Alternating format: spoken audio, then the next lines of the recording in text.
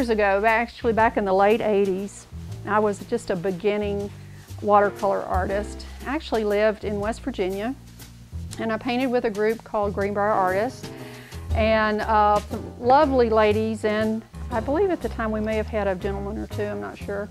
But every week we would meet and some of us would, a lot of us would paint watercolors, some would paint acrylics and oils.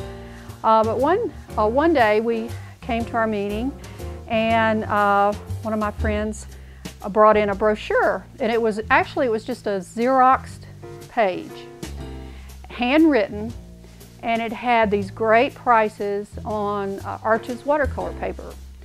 Uh, you could buy 100 sheets for so much, 10 sheets for so much and so forth.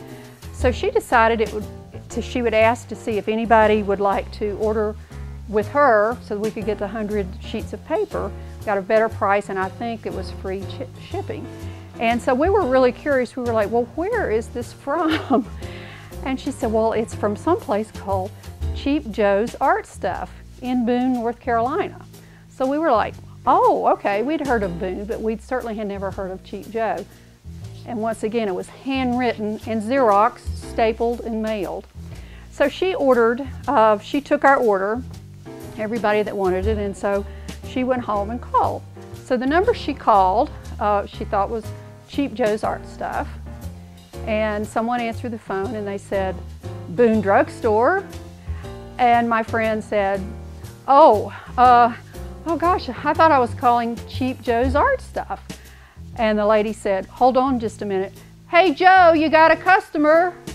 And so Joe Miller himself got on the phone and took her order for the 100 sheets of watercolor paper. And in the course of finding out where she lived, he realized that he knew some people that she knew. So they ended up having a great conversation about people in the area up in West Virginia that he knew.